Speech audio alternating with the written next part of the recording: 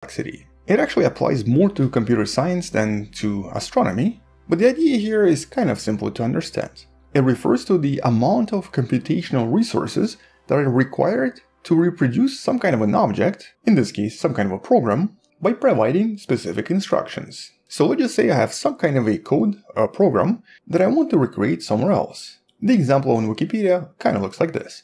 Now even though both of these contain 32 letters, the program on top is much much easier to recreate than the one on the bottom, because here the instructions can be written as write AB 16 times, whereas the bottom program doesn't have any patterns, so all 38 characters have to be sent, and so the ABAB string has very low Kolmogorov complexity. It's much much easier to recreate and does not require a lot of computational resources. And turns out, so is the DNA on planet Earth, not just human DNA, any DNA. Because of repeated patterns and because of relative